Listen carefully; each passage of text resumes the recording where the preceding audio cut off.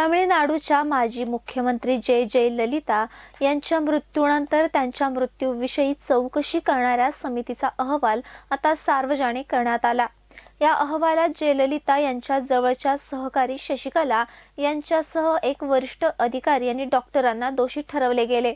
तामिळनाडूच्या माजी मुख्यमंत्री जय जय ललिता यांच्या मृत्यूच्या चौकशीसाठी नेमलेला आयोगाचा अहवाल मंगळवारी तामिळनाडू सरकारने विधानसभेत सादर केला. जयललिता यांच्या मृत्यूच्या चौकशीसाठी नेमलेल्या निवृत्त न्यायमूर्ती अरुमुख स्वामी आयोगाने हा अहवाल तयार केला. या अहवालात सांगितले की व्ही. के. शशिकला या जयललिता यांच्या जवळच्या सहकारी होत्या. त्या जयललितांसोबत त्यांच्याच घरात राहत होत्या. जयललिता आजारी पडल्यापासून त्यांच्या मृत्यूपर्यंत शशिकला त्यांच्यासोबत होत्या. दिवंगत मुख्यमंत्र्यांच्या विश्वासू व्ही. शशिकला यांचा काही यात दोष आहे का? आणि हे शोधण्यासाठी चौकशीचे आदेश दिले जावेत असा अंतिम निष्कर्ष निवृत्त न्यायमूर्ती ए. अरुमुखस्वामी आयोगाने त्यांच्या अहवालातून काढला. या आयोगाने शशिकला यांच्यासह इतरांचीही नावे अहवालात नमूद केली डॉक्टर के. एस. शिवकुमार हे जयललितांचे खाजगी डॉक्टर होते. त्यांच्यावरही आरोप केला गेला. राधाकृष्णन हे तत्कालीन आरोग्य सचिव होते. ते जयललिता यांच्या आरोग्याची काळजी घेत होते. त्यांच्यावरही संशय व्यक्त केला गेला आहे. सी. विजय भास्कर हे तत्कालीन आरोग्य मंत्रीही जयललिता यांच्या निकटचे मानले जात होते. ते बुलेटिनद्वारे हेल्थ अपडेट देत होते.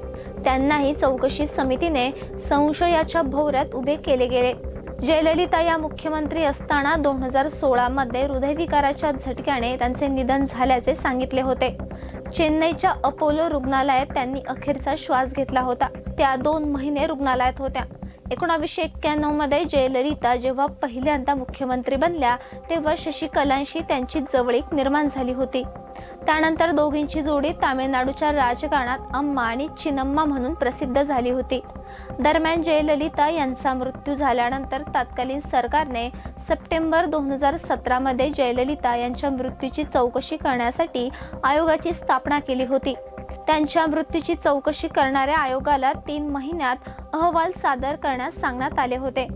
पण गेल्या काही वर्षात चौदा वेळा या आयोगाचा कार्यकाळ वाढवण्यात आला. दरम्यान आता जयललिता यांच्या मृत्यूच्या चौकशीसाठी नेमलेल्या निवृत्त न्यायमूर्ती अरुमुख स्वामी आयोगाने आपला पाचशे नव्वद पानांचा अहवाल सादर केला होता.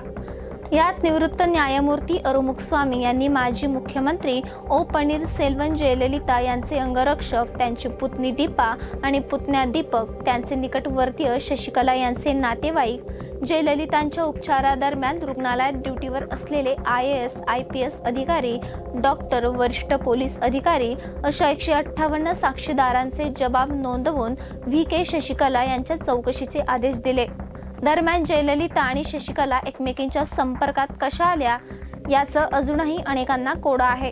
जयललितांच्या आयुष्यातली एक रहस्यमय व्यक्ती असलेल्या व्ही. के. शशिकला आणि जयललिता या दोघींचं नातं काय होतं हे कुणीच ठाम सांगू शकत नाही. कुणी परम मैत्रीण सांगतं कुणी मानलेल्या बहिणीसारखं सांगतं पण एक आहे की जयललितांच्या प्रत्येक व्यवहाराची निर्णयाची त्यांना माहिती असायची. एकोणावीसशे सत्तरच्या सुमारास शशिकला आणि जयललितांची पहिली भेट झाली.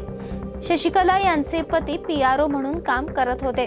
आणि ते ज्या आय एस अधिकाऱ्याच्या हाताखाली काम करत होते ते जय ललितांच्या जवळचे होते. एका व्हिडिओ शूटिंगच्या निमित्ताने झालेल्या या पहिल्याच भेटीत शशिकला यांनी जयललितांना जिंकलं. त्यानंतर लवकरच त्या जयललितांच्या आयुष्यात एक महत्वाची व्यक्ती बनल्या. मुख्यमंत्री एम जी रामचंद्रन यांचं निधन झाल्यानंतर तर शशिकलाचा जयललितांवरचा प्रभाव आणखी वाढला. जयललिता शशिकला यांना आपल्यासोबत बंगल्यावर राहायला घेऊन गेल्या. शशिकला यांच्यासोबत त्यांची बहीण आणि मुलंही राहण्यासाठी गेले.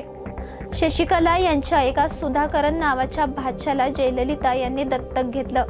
दत्तक घेतलेल्या या सुधाकरनच्या भव्य दिव्य लग्नामुळे जयललिता यांच्या संपत्तीवर आयकर विभाग आणि माध्यमांचं लक्ष गेलं. बेहिशोबी मालमत्ता प्रकरणात जयललिता यांच्यावर भ्रष्टाचाराचे आरोप झाले. तेव्हा त्या मुख्यमंत्री होत्या. बेनामी संपत्तीच्या केसेसमध्येही जयललिता शशिकला या दोघींवर एकत्र आरोप झाले. शशिकला यांची संगत चांगली नाही असा सल्ला अनेकांनी दिल्यावर जयललितांनी डिसेंबर दोन हजार अकरा मध्ये तिला दूरही केलं. तिच्या नातेवाईकांनाही बंगल्यातून हाकललं पण हा राग शंभर दिवसही टिकला नाही. जयललितांना पुन्हा शशिकला यांचा कळवळा आला आणि जयललितांनी शशिकला यांना माघारी बोलावलं. पुढे जयललिता यांच्यानंतर शशिकला यांनाच पक्षाच्या क्रमांक दोनच्या नेत्या मानलं जात होतं. पक्षाची धोरणं आणि संवाद कौशल्य यामुळे शशिकला यांची ताकद पक्षात वाढत गेली. कालांतराने शशिकला यांच्यावरही भ्रष्टाचाराचे आरोप झाले. बेहिशोबी मालमत्ते प्रकरणी दोन हजार सतरामध्ये न्यायालयाने त्यांना शिक्षा ठोठावली. दरम्यान या आयोगाने आता जयललिता यांच्या मृत्यू प्रकरणी शशिकला यांच्या चौकशीचे आदेश दिले असून या चौकशीतून काय समोर येतं हेच पाहणं महत्त्वाचं आहे. Bureau report the column news Ahmednagar.